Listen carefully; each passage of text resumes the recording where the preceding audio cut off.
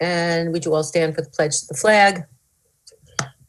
And I shall lead you. I pledge allegiance to the flag flag of the of the United United States States of of America, America and to the republic for which it stands, one one nation nation, under under God, indivisible indivisible, with liberty and and justice for all. I have no idea what's going on there, Jean. I tried to bring up the, the calendar, the. Don't bring up the flag. It's okay. So We all- fast. I, We're good. yeah, I tried. It didn't Um, work. Public comment. We have one member of the public here. Miss Ashley Van, Van, Ben Choden. do you have a comment, Ms. Public? I'm guessing- muted. Okay. Well, then we're going to move on to the budget presentation. So who's on, Susan or Keith or both? Both, except um, Jean, my screen sharing is not working. It says disabled. Could you quick click that? Yep, I've got it. Your step. Thank you.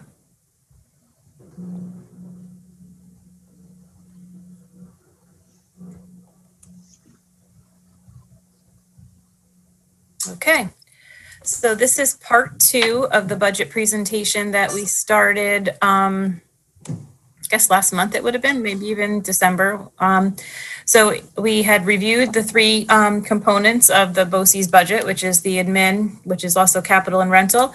And then we have our um, program budget. So tonight or today, we're going to focus on our COSER budgets and how we put those together. Um, we are going to talk a little bit about capital as well because we covered rental the last time. And then we're going to give you an update and show you how tuition and program charges um, are calculated. And then just have a um, just an overall conversation about where BOCES um, obtains its revenues from. And I can't see everybody on my screen. So if you have a question along the way, don't hesitate to shout out to me and, and ask me to stop because I'm not going to be able to see everybody at the same time. So you won't hurt my feelings. Um, so from a program programming um, and COSER budget perspective, basically everything that we put together is based on ISRs, which is the initial services request um, from a district. So if you've been on a, a district board before, you know that districts send us um, the number of CTE students, special ed students, and they let us know what other non-instructional um, programs and services they're going to participate in at um, in any one given year. We uh, typically do initial services requests around this time of the year. They're always due somewhat in um, early January. And then we complete the process again closer to May 1, because May 1 is the statutory deadline. Um, and we ask them for their final services request, and that's their lock-in commitment for the upcoming school year. So what is the basis for um, a BOCES program or and or um, service budget? So I just told you it's built on the initial services request. So if we have, you know, six districts that want to participate in the central business office or in the health and safety COSER, or if we have 400 students that want to participate in, in CTE, we build programs, we hire staff, and um, we request resources that basically fulfill um, the needs of that particular program. And each one of those COSERs is independent. So CTE doesn't, you know, pay for things in, you know, instructional support services and, and vice versa. Every budget has to be um, self self-sustaining, excuse me. And this year, our final services requests are due on April 3rd, April 23rd.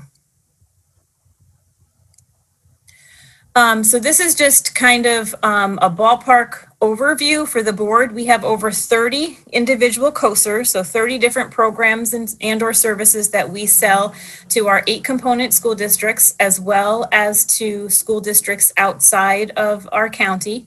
Um, obviously, we offer a wide a range of career and technical education programs. We also offer several different program ratios, 811, 813, 1211, in the special education arena. We also have a variety of itinerant services, both instructional and non-instructional. So anything from a shared uh, physical therapy or therapist, occupational therapist, to our shared food service um, staff, which would be on the non-instructional side. We have a host of general um, instruction COSERs. Those are things like arts and education, uh, distance learning, and Spark and IDT because that's a general ed population of students. On the instructional support side, um, we obviously have school improvement.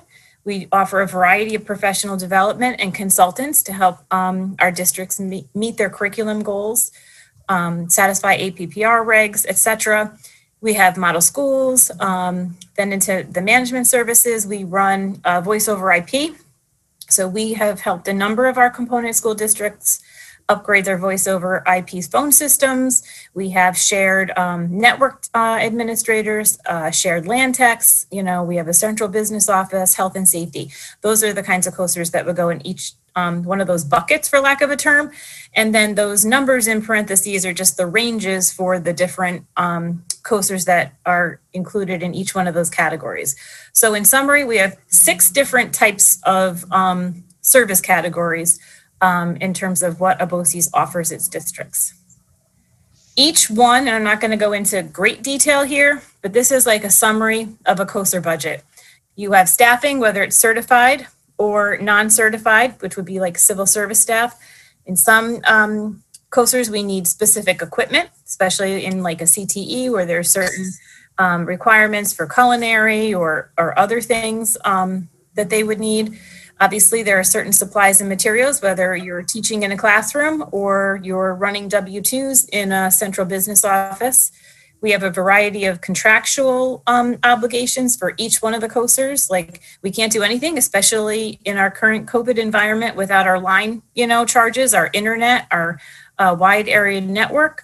Um, obviously, we don't do a lot with conferences and our mileage is down because we're not traveling. Um, but we still, you know, use our copiers for um, scanning things and uh, getting information back and forth um, to our districts. We do cross contract for some services. Um, I think a great example for the board is your policy service with Erie um, BOCES.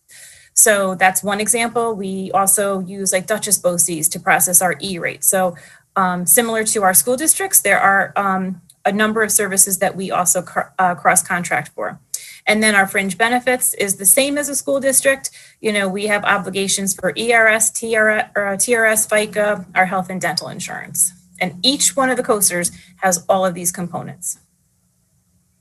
And this is just kind of a little summary.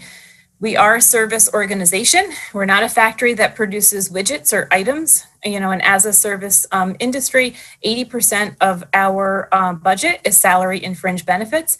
And that's not dissimilar to other service industries or our component school districts.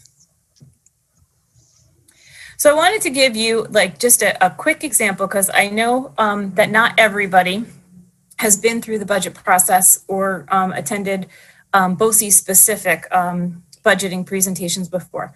So in our alternative education program, um, we need four teachers because we have to have the four core content, math, science, social studies, and, and English.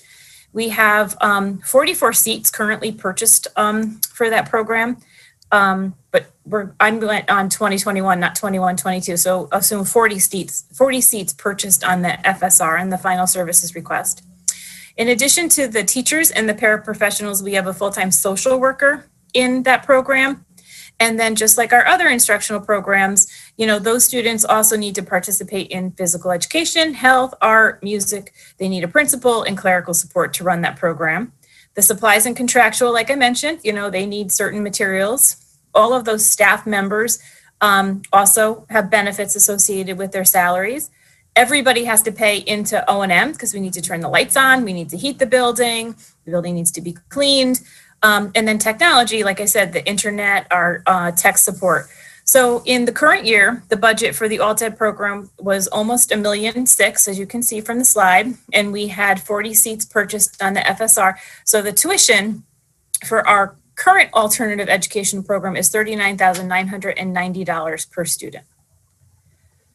A BOCES budget is a little bit dissimilar from a school district budget in that we increase and decrease throughout the year.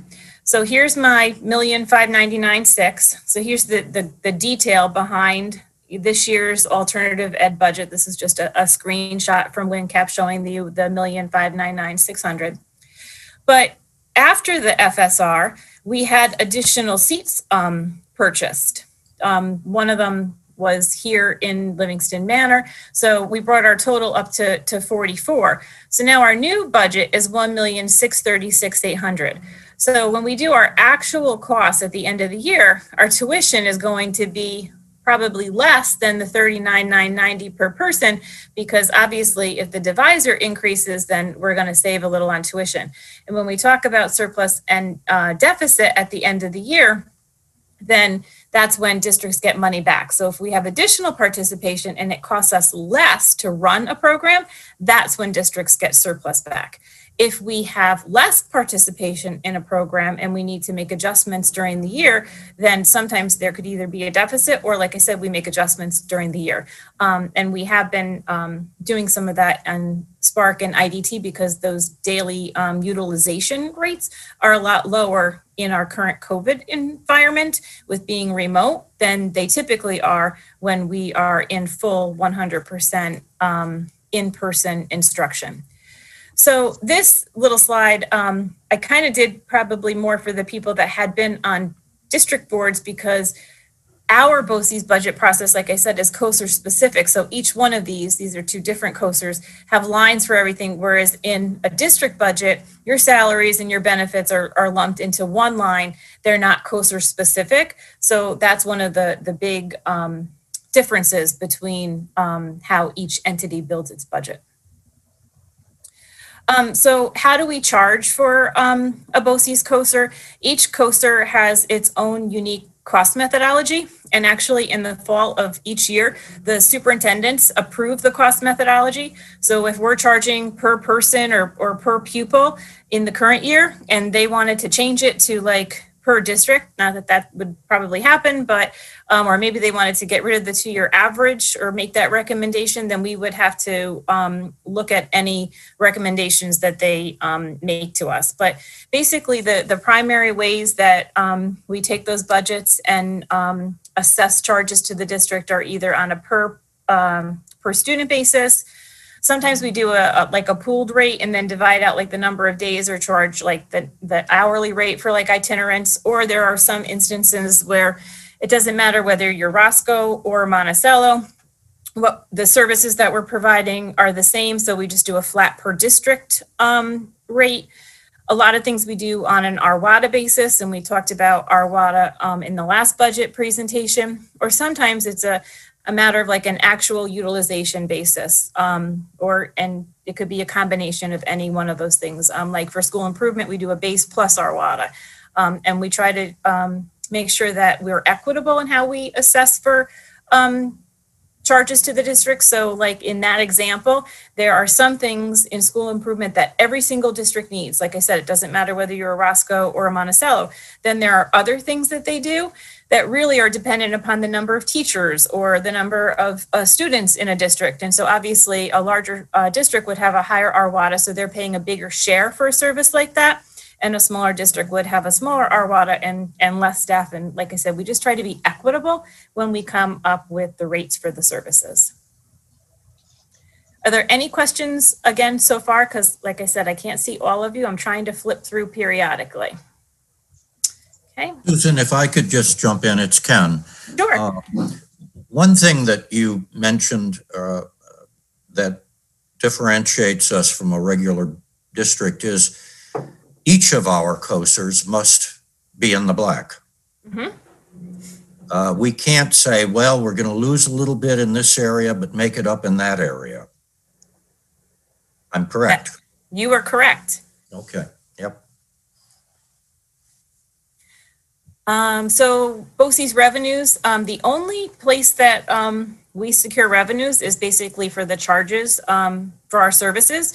So whether it's our component districts or, or non-component districts, and we do have several non-component districts, like I said, in both instructional and in non- non-instructional, um, services. Um, the two biggest examples are probably, um, special ed. Um, we also have some, uh, non-component, uh, stu- students in our, uh, career and tech program. And we have some non-component school districts in our um, central business office. Um, we are eligible for and do have some grants our library grant and our teacher center grant are probably the two biggest examples. We used to have a lot more grants, um, but those have declined substantially over um, the years. We do um, assess some individual tuition fees. Um, those are pretty um, uncommon. Um, I think the biggest example I would share with you is probably like a cosmetology student who may not have completed all of the hours that they're required to take the boards um, while they were in high school, and they may come back and want to complete those hours over the summer or in the fall so that they can sit for their boards.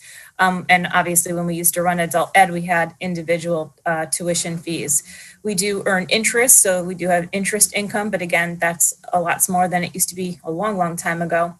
Uh, we don't levy any taxes, unlike a, a school district, and we don't make a profit. So any money that we have at the end of the year is surplus um, that's returned to districts. Um, so our total capital expenses, um, or not expenses, it's what we collect. So it's an expense to the school district. In 2021, meaning the current year, um, the capital assessment was $625,000. Um, again, it's spread over the eight component school districts um, on an RWADA basis. Um, we are looking to increase that capital collection in the upcoming uh, school year to um, $725,000. We do have a series of um, renovation projects, particularly roof work that needs to be completed over the next couple of years.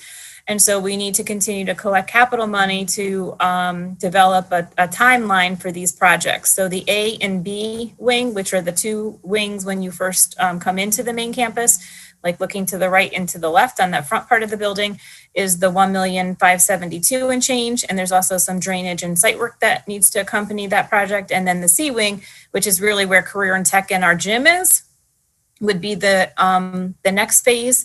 Um, we have collected some capital money over the last couple of years, but we need to continue to increase our capital so that we can take care of these projects. Um, and sooner than later, we're going to also have to replace our, our boilers. So we have been working with our new architect, CS Arch, um, and we've identified these three projects and then followed by um, a window replacement project um, to be um, the priorities based on our annual visual um, assessment um, that they recently completed. Um, in addition to these, and I put them to a side because you can't really do site work or paving. It always has to be attached to a, um, a capital project before you can get aid on it. We will be trying to um, upgrade and uh, fix some of the, because we have some paving issues that definitely also need to be addressed at the main campus. And then we are, we did explore an energy performance project. Um, some of you may have been with us when the BOCES did an energy performance contract decades ago. Um, unfortunately, we didn't qualify for a new EPC. They weren't able to generate enough savings by looking at that type of a project for us at the current time. But um, as we um, do small projects in the building, our intent is to continue to upgrade our lighting with LED lighting. Um, so any little renovation we do internally with our O&M staff, we're going to continue to try to do that and any other um, energy savings measures that we can take. So this slide, for those of you who were with us, um, whoops, sorry about that.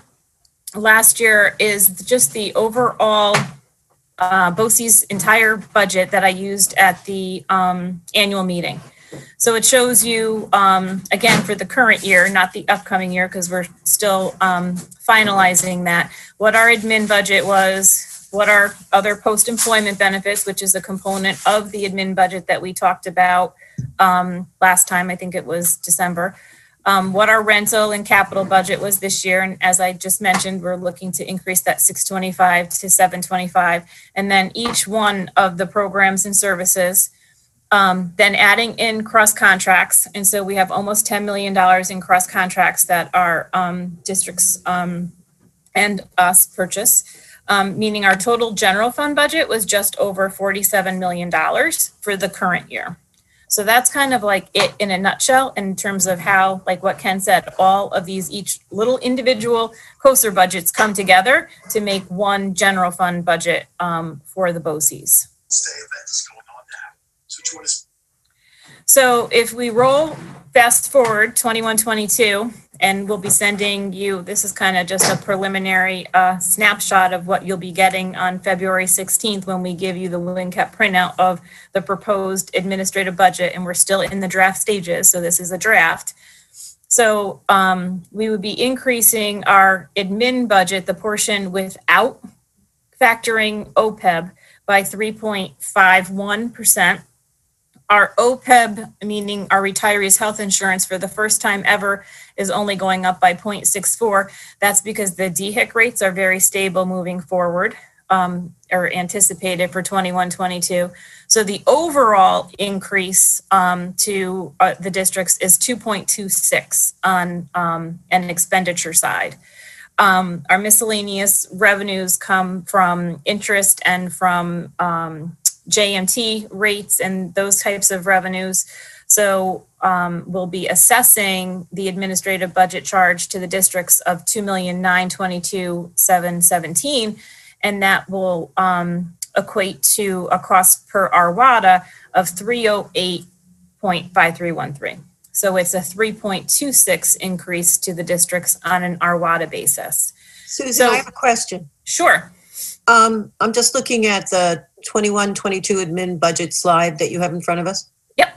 Okay, if the admin budget is going up by 3.51 and the retirees' health insurance budget is going up by 0.64, Mhm. um, we don't add those two together because that doesn't come out to No, because we 2.26. pull tho- those out because normally the OPEB increase is substantially higher. Like it's, it's been Ah. like, sometimes it's been like ten percent. So we want to show the districts that in this particular year, this slide doesn't mean as much as it, as it normally does. It's like you almost don't need it to explain the administrative budget because OPEB is so, the increase is so minuscule this year. That's because DHIC is probably going to come in this year in a, um, believe it or not, a zero to two percent increase, which has not been the case for health insurance in a, a very um, long period of time. Sure. So this is the overall increase when you're com- uh, comparing All total admin budget to total admin budget. Gotcha. And then I know it's confusing, but at the, at the bottom that now I'm into like a three point two six, but we had this conversation about our WADA and I can't remember who like asked some questions about it before, but our WADA had been well over twelve thousand um, when I first started in this position in, in BOCES and when some of you were back in, in district. And I actually see Ken nodding his head, so you're on my screen this time. So, and we talked about how our WADA is rated with rated weighted average daily attendance and how there's a higher weighting um, for your secondary population. And so it really depends upon each district's, not only their total enrollment, but their attendance and how that enrollment is divided by K6 versus, you know, the, the secondary um, students. And so the point of this slide at the bottom is if, if our WADA had stayed flat and didn't go down, then we'd only be talking about a 2.47 increase to the districts. So as this divisor continues to decrease over the years, and this year I think it went down by like 73, the divisor becomes smaller. Our costs continue to increase regardless of how frugal we are. And so it's it's a critical component for the districts because they're paying a higher increase. It's because their RWADA is going down. And it does fluctuate. So there are what I call winners and, and losers every year. Right. So in while overall our WADA is going down in the county, there are a couple of districts who went up by like 120 and some who went down by like 80 or whatever. And so every year the districts have to assess that information because if their RWADA went up, they're going to pay for a larger slice of the BOCES administrative pie. Whereas if their RWADA went down, they're paying for a smaller slice of the administrative pie. And it's all relative and something that they have to pay attention to. And it's not just tied to the administrative budget, it's tied to other things we talked about in, in terms of aid districts receive. And I, I mentioned uh, school improvement is on a base plus RWADA, health and safety. So there are a variety of other BOCES COSERs that also use RWADA in terms of how costs are assessed. So this is like the big one because they vote on this, but it, it applies to everything else um, that we also provide. Does that make sense? Um, so the, the major increases in the administrative budget, we do have some tied to the reorganization because of the overlap um, with Keith's retirement and hiring the new person early, along with contractual obligations uh, for that and um, leaves of absences that have occurred, not just in admin, but overall throughout the organization because of COVID. Um, we did have some major increases in our legal fees. We, we know we've had a couple of, um, issues that the board has been involved in. Um, and we're in a negotiations year and we will be going into another negotiations year because our, um, contract with the teachers expires on June thirtieth, as you know.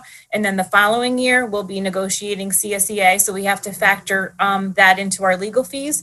We are no longer paying for the, um, cross-contracted labor relations service. So like the money that we had allocated to the labor relations service, we moved over into our attorney's fees, legal fees, because we're using our BOCES attorney for that. We did have a major increase in WinCap software um, because they're going through um, some software upgrades um, and some BOCES modules. So that was something we also had to incur. Um, and then some increases in our insurance, liability insurance, and then benefits, ERS and TRS. So if I had to summarize the major categories of increase, these would, um, these would be the top ones. Susan? Yep. I was muted and didn't work fast enough, but I have a question to- to go back about RWADA. Sure. What are the COVID effects? Because isn't RWADA calculated on a seat basis in, on a date in October? Uh, it's not on a date in October. It's, um, it's throughout the year. Um, and that's a really, A, interesting and B, good question, Carol. But our WADA is also backdated because of reconciliation purposes. So we are not going to know the COVID implication until another year because we're always behind with what we're, um, with the RWADA that we're using for the upcoming year. So I agree um, with your question. Um, and in about a year, we're going to know the answer. Okay. Good question. Um, and then I just kind of summarized this for you so that, again, because I, I know that not everybody has been with us. Um, so this would be the staffing in what I call like really your budget. So as I talked about, you know, a couple months ago, the administrative budget includes the board, the office of the district superintendent, the business office, and central administration. From a staffing perspective, because that's typically where most people like might ask you questions, you have a district clerk, a claims auditor, and a treasurer that, you know, works directly for the Board of Education. Whoops, I didn't mean to do that. Then obviously we have a, a district superintendent. Um, and I didn't put the clerical on here, but we do have, um, clerical because that comes out of a, a transfer charge. Um, central administration, you know, is deputy super, part of me, part of the HR director and the HR specialist. And then in the business office, these are all the, the FTEs, which is full-time equivalent. So some of us are in charge of other shared services that we provide the districts. And so that's why pieces of us are here and pieces of us are also in those COSERs, like the share, uh, central business office, you know, my oversight of O and M and health and safety, Jen's oversight of the TalentEd and shared HR work that we do um, with the districts, et cetera, et cetera. Um, part of the accountant works for the, the central business office. And like I said, there is a little bit of overlap, and that's why I wrote the director of finance and operations and the business administrator in blue, because um, Keith is retiring in September. And um, in 21, 20, or in 22, 23, that you won't see that 0.27 of uh, director anymore, and we'll just have the um, the business administrator. So I hope that makes sense to everybody. Does. Thank you. So um, my key points are um, a BOCES budget is a collaborative process. Um, myself, Keith, uh, both Jens, Jen Mitchell, uh, Jen DeFrank, because HR is a big component when you're staffing. And if we ever have to make staffing adjustments, we always have to know seniority and um, job titles and functions, et cetera. Um, so we all work very closely and very closely with our districts because, you know, we have to bend and flex to make sure that we're meeting their needs, whether it's um, shifting staff, um, hiring more people, adjusting um, to something else that they, something new that um, they have identified. Um, as Ken mentioned, each budget is independent. We don't, you know, mesh money. CTE doesn't, you know, pay for alt ed expenses and vice versa. We do buy things from each other, you know, so like alt ed students may buy, or alt ed might buy seats for those kids in CTE, you know, and special ed does pay for seats when a special ed student um, participates in CTE, just like our instructional programs um, do a transfer to school improvement because just like Maria and her staff work with the districts, she also works with our staff on professional development activities um, and other uh, curriculum initiatives that we might need support for. Um, we are a non-revenue generating entity from a tax perspective. All the COSERs are funded by um, the school districts. One thing I didn't mention, but when people talk about the administrative budget, I think often they think all of our administrators are included in that budget. That's not the case. So if I'm the principal of CTE or the assistant principal of CTE, my um, costs for my salary and benefits are in that COSER. So sometimes I think that that's a, a nuance, whereas central administration, like myself and Bob and Jen and Keith, are you know appropriately apportioned to the administrative budget. And then all of the retirees' health insurance also has to be included in the administrative budget because that's just the way the law is written. Um, like I said, no funding outside of district revenues and grants. Um, and we have been very busy calculating our um, 21 22 rate sheets. Um, and we anticipate that they will be ready to be presented to the superintendents on Friday. And I'm happy to answer any questions. Does anyone have any questions for Susan? Susan, Carol? do you have a feel for the individual districts and the pain that they're going to go through with their budgeting process and how they they'll come up with sending their kids to us? It's got to be difficult. I think it's difficult for everybody right now, do too. um, Carol.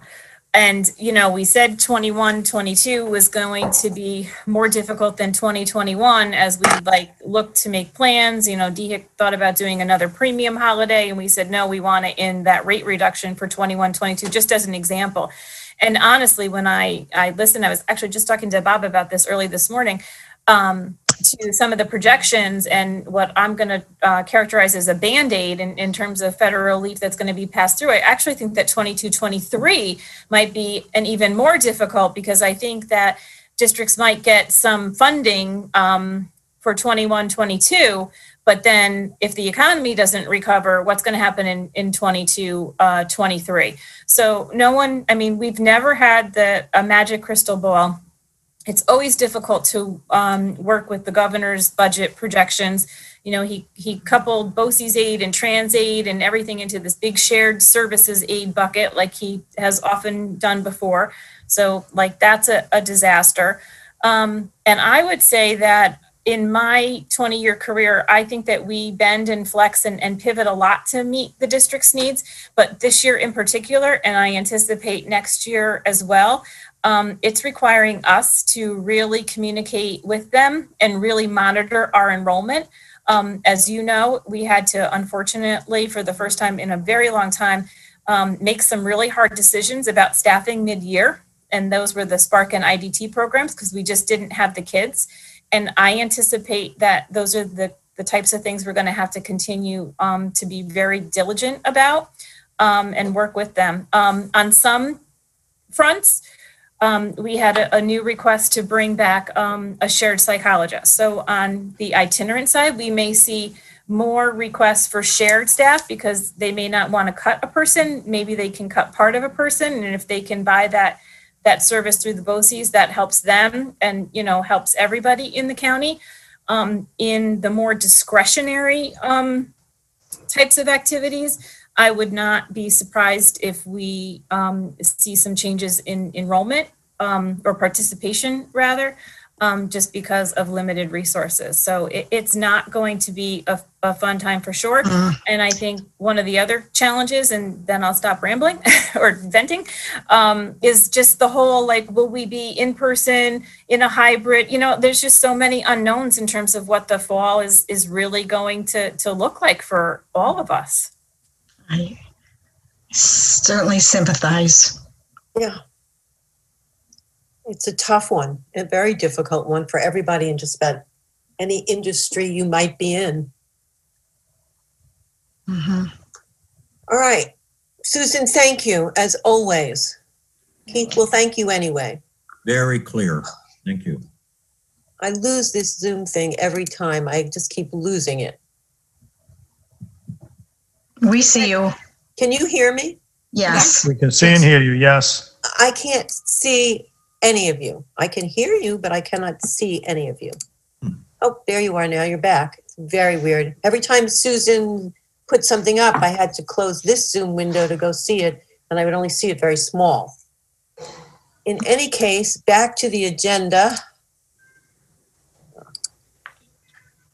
Okay, we need, I need a motion for the adoption of the consent agenda. Sue, thank you. Um, Kathy, thank you very much. And the consent agenda has two parts to it. I hope you've all seen it. And I can't tell you how many times I read that as Sarah Croft instead of Kara Soft. It was just very Indiana Jones like. All those in, no questions? All those in favor, please uh, show of hands. Thank you. Unanimous. Thank you, Jean. Okay, moving along to personnel matters. This too is an action item.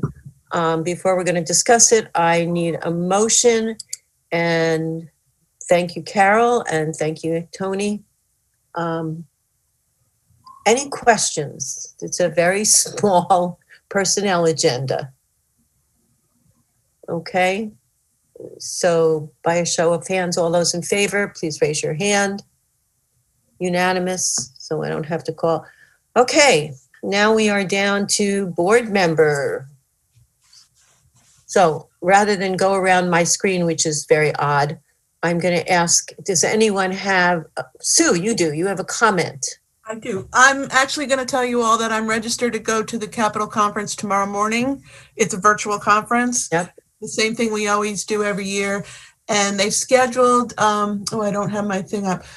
Uh, there's a Zoom call in on Friday with Aileen Gunther and one with the new Senator Martucci on next Monday. So I'll be participating in that. Is Kathy, weren't you thinking of participating in it? Was it Kathy, was it you? No, okay. Anybody else planning on attending this? Okay, great. Well, Sue, we'll leave you a little time on the following meeting, which is in two weeks. So I, I do have one comment, if nobody else has a comment that I want to make. Actually, I have two comments. Um, First of all, to make Jean's life a little easier and to stop some traffic that's unnecessary, please remember, you want to respond to Jean that you're going, that only if you are not going to attend the meeting. If you're going to attend the meeting, we won't hear from you. If you are not going to be able, or even if you think you're not, you know, it's questionable, please do respond to Jean. And in the question of responses, I don't know about the rest of you, but I get a lot of BOCES email, um, probably more than most people do. I, would like to request, you know, you are all very delightful human beings, and every Friday when Bob sends out his his statements or anything else that gets sent out, everybody likes to respond to him and say, "Nice job, thank you." You know, could you respond to him rather than to everybody? or anything else. Please just respond in your own personal way, but you don't have to share it with everybody. Now, if you want to share something with everybody, please feel free to. But otherwise, I know I, I go crazy sometimes trying to get if I don't get to see his his particular statements on Friday, his emails, I go crazy because I have to go through everybody's to find what he actually wrote. Right. Oh, So if everybody doesn't mind doing that, it would be, I know I would greatly appreciate it. I think Bob might, but I won't speak for him. I will too. Oh, good. So it's not just me. Thank you. That was my comment. Kathy, you're on. You're not, you are, you are muted, but I'm going to assume you saying you make a motion to adjourn? That's what she said, yes. Okay. I need a second, please. Carol Park, thank you. Um, all those in favor? Only one hand. See you all in two weeks. Jean, could you stay on and Susan, could you stay on? Maybe you can help me figure out what's going on with my Zoom problem. Everybody else,